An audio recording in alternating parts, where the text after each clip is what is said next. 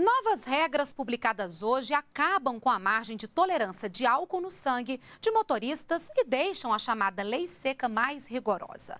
Agora, quem estiver sob efeito de qualquer quantidade de álcool será penalizado.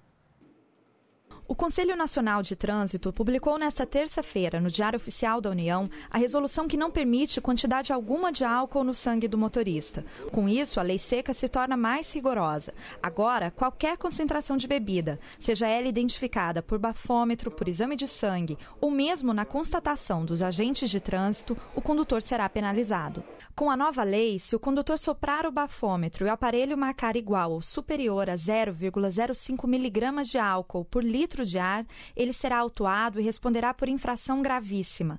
Neste caso, pagará uma multa de R$ 1.915,30 e terá suspenso o direito de dirigir por um ano. Se o bafômetro marcar igual ou superior a 0,34 miligramas de álcool por litro de ar, o condutor será encaminhado à delegacia.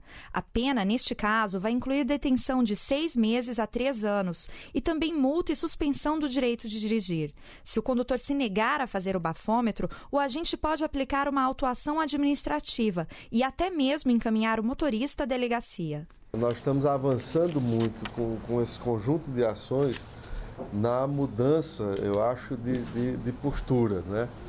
Em algumas cidades hoje nós já temos uma presença muito firme da, dos órgãos de trânsito, da autoridade policial, no envolvimento desse conjunto de forças para o quê? Para é, ter uma, uma fiscalização rígida que ajude nessa mudança de postura.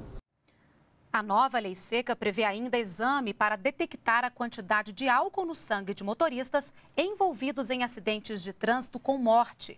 Outra mudança é que agora serão permitidos, além do bafômetro, vídeos e provas para confirmar a embriaguez do condutor.